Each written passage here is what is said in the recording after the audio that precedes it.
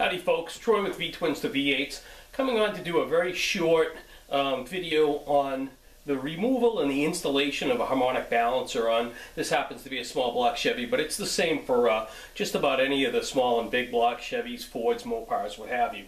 So the removal part is pretty straightforward. Lots of times it will give you a little bit of problem. What you need is a puller like this. I can bring it in so that you can see it. You know, it's a three, it's got three slots in it and a bolt that goes through the center. It goes onto, onto your harmonic balancer like this. It's got a nice little button so you don't damage your crankshaft. You put your bolts in and you screw your center in. Bring the camera over so you can get a better look. There's three holes in the balancer where your pulley screws on. We utilize those three holes. We back this screw off here we put our puller, puller on here to correspond with those. We put our bolts with the kit that go in there. We screw them down. And then once we get our all three of our bolts lined up, we turn this. And as we turn this, it walks this piece back and it removes the balancer. Now the reason I'm changing this particular balancer is I have kind of a unique situation is my balancer is loose. I'm doing this engine for a guy. The engine was all assembled. I'm putting it in the car and assembling the car. And I noticed that my harmonic balancer has a little bit of walk to it. So I grabbed the hold of the balancer and boom, it comes right off. I don't have, there should be an interference fit. In other words, this should literally be pressed on here. Um, with this looseness like this, the harmonic balancer is designed to absorb the torsional flux, fluctuations in the crankshaft. In other words, the crankshaft, with all the firings of the cylinders, it creates kind of a torsional vibration, a twisting vibration, if you will. This balancer is steel and then steel with a rubber in the center, and it kind of walks back and forth on a rubber and it absorbs that.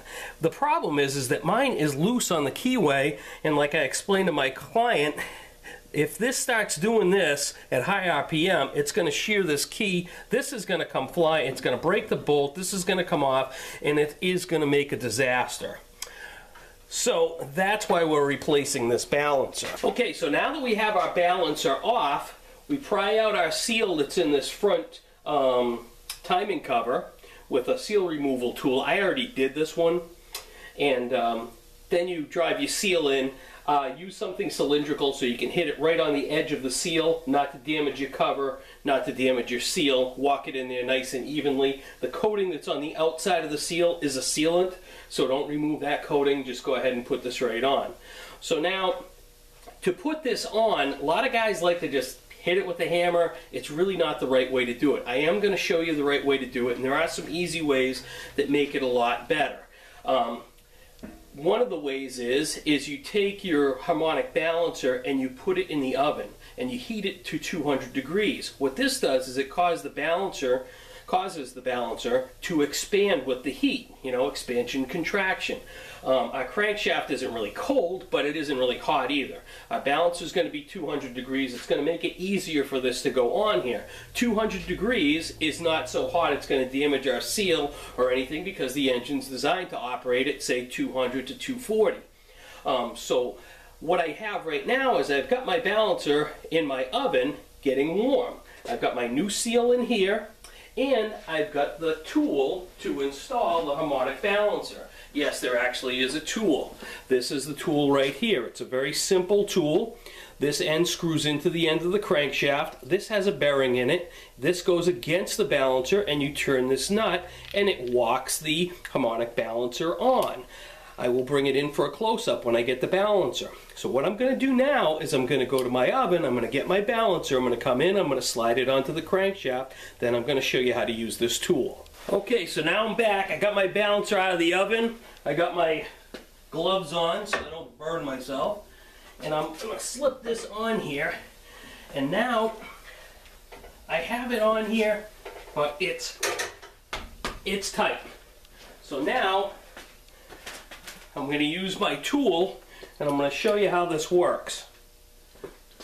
First thing you got to do is you got to make sure that your bolt is all the way in your crankshaft. So in other words, you want it to be threaded all the way into the crankshaft and then that way there you won't cause any damage. Basically you can see the center bolt I'm going to hold steady and then I'm going to turn this nut and as I turn this nut it, you can see the harmonic balancer going onto the crankshaft and you just continue to turn this until you get this all the way on here and you might say to yourself Jesus that seems really tight but it's got to be on here tight it's not designed to just slide on like you're putting a tire on a car. This piece is got to be on here tight. How do you know when you're far enough on? Basically what it does is it just stops because the inside of this balancer, the, the end of it, is going to contact the drive gear that's on the crankshaft that drives your timing chain. It's going on I mean, it's going on nice and slowly, and it's not getting caught. You know, it's one of those things where you just kind of take your time and just keep going. When it's when it's done, you'll you'll feel it. It'll just stop. So I'm gonna. There it is. Okay, so now it's buried right up against there. I can just back off my nut. Once my nut's backed off, then I can take my bolt loose and my balancer's on. Okay folks, so now my balancer is all on, so the only thing I have to worry about now is putting my pulley on and my center crankshaft bolt. Make sure you torque it to spec.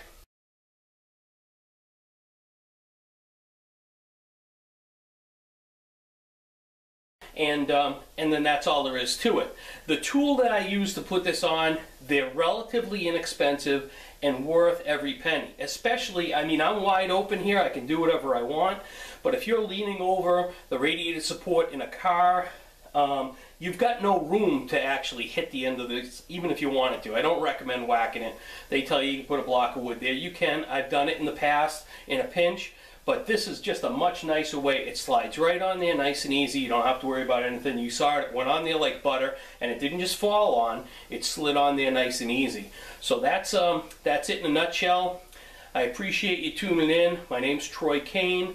The website is vtwins2v8s.com. You can get me on vtwins2v8s.com on Facebook at my website. I also on my YouTube channel, which is Troy Kane. I have a lot of um, instructional videos on painting, engine work, auto restoration. That's my thing. Um, feel free to contact me if you're doing a project. I'd be more than happy to help you. And thanks again.